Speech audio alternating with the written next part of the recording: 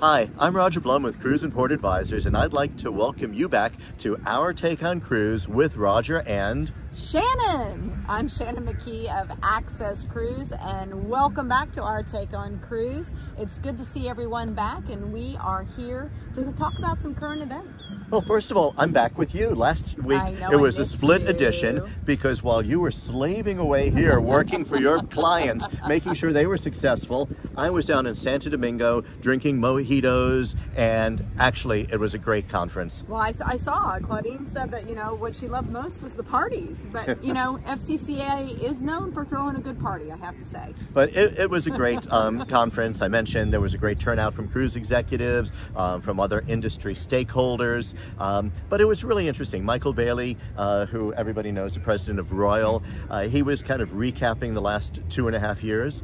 And yeah, he's a funny guy. He said one thing that he learned because the collaboration within the industry with the destinations was fantastic. He said he learned that he actually likes people from the other cruise lines.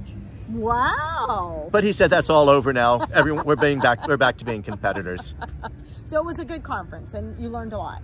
It was good. Um, there was a lot of talk about the America's Cruise Task Force that was created yeah. during um, COVID and continuing it. And this is going to continue because he leads that, right? He leads it from the cruise side. Right. Uh, the Prime Minister of um, Barbados was leading it uh, from the uh, destination side, but they're going to focus on other things right now, such as employment.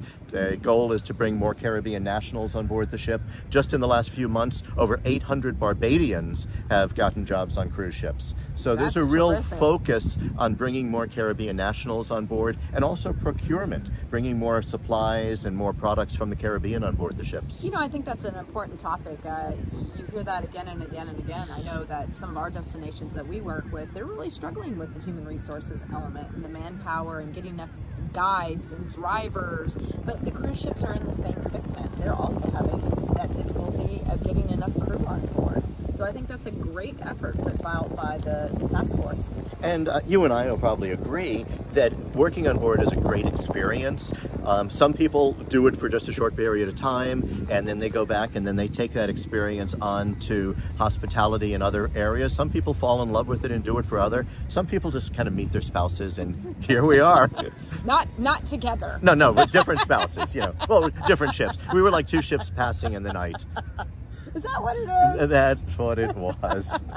That's true. We both met our spouses on board. And how many years is it now for you and Marie? Uh, our 27th anniversary is coming up in a couple of weeks. Wow. And John and I's 18th anniversary is coming up in about a month.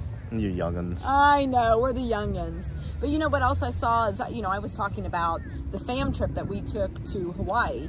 And then Linda Vasquez, also of Access Cruise, she escorted a fam trip to Haifa Port. But I was just reading the trades and I see that this is fam trip season because we have Denmark that just had a fam trip.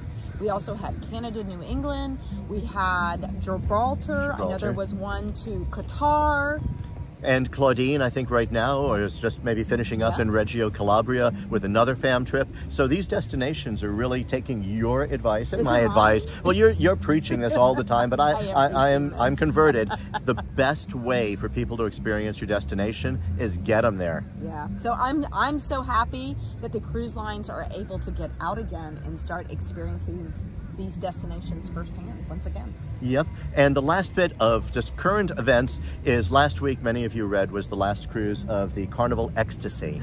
Well, I actually was the first hotel manager on there. Really? I took the ship from the shipyard. So even though I didn't get to see the ship on board last week, I just pa passed it here in Miami. Uh, Micky Arison posted a picture on his Insta page of the two of us together on the inaugural of the Ecstasy. So I hit the big time. You're Instagram famous, huh? Uh, for 24 hours, I didn't get to see it, but for 24 hours, I was famous. Wow. Did he tag our take on cruise? Unfortunately not. So, you know, anyone who wants to post stuff, tag our take on cruise until we see you next week. All right. And I'm gonna we're gonna write to Micky. We should tag Micky on this one. We will tag Micky, so we will help him his popularity. Sounds good. See you next week. Bye. Bye.